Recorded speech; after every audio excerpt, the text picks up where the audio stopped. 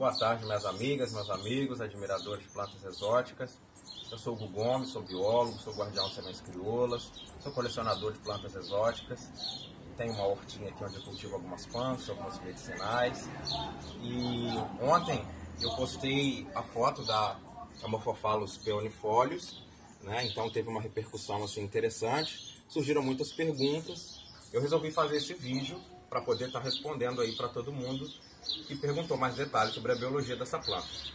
Então, ela é uma arácea, tá? é uma planta da família da taioba, da família do inhame, da família do, do mangarito, da família do antúrio. É, também é uma, uma, uma, planta do gênero é, da Morphophallus titano, que é considerada a maior inflorescência do mundo.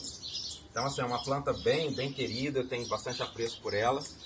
Tá? Então, ontem ela estava desabrochando, hoje ela já já completou o processo de desabrochar, né? Então dá para ver mais detalhes aqui da planta. A gente tem esses pads com, com esse apêndice aqui em cima, que é o que dá origem ao nome do, do gênero Homophophallus, né? Que é falo disforme, fazendo alusão aí ao órgão sexual masculino, né? Então aqui embaixo a gente tem os estames, que são a parte masculina da planta. Aqui embaixo nós temos os pistilos, que são as partes femininas. Ontem o cheiro estava muito intenso e vieram umas oito ou nove espécies de moscas aqui diferentes. Tá? Hoje o cheiro já está um pouco mais ameno. Tá? Eu vou dar uma forcinha também, fazer uma polinização manual aí para ver se a gente consegue que ela frutifique. Né? Muita gente pediu semente, é, queria saber se eu vendia semente, se eu vendia muda. Então eu vou tentar estar tá fazendo a reprodução aqui dessa planta para estar tá compartilhando com vocês. Então, assim, é, é uma planta muito bonita, tá? Ela demora aproximadamente aí uns seis anos para florescer. Ela dá uma única folha. Perguntaram também é, em relação a, como que ela é antes de florir. Ela dá uma única folha que se divide em, em, vários folíolos menores, né? Dá a impressão que são várias folhas, mas na verdade ela dá uma única folha. Raramente pode ser que dê duas, mais comum é que dê uma única folha. E no inverno ela entra em período de dormência, então você não vê nada, parece que a planta morreu, mas o cormo fica inativo, né? E ele acumula reserva do, durante o período que a, que a planta está em atividade. Essa única folha, ela seca, ela morre, ela vai ficar em dormência e se der sorte, ela vai florescer a partir aí dos seis anos, que é onde ela entra na idade adulta. Tá, é uma punk também, é uma planta é, alimentícia não convencional.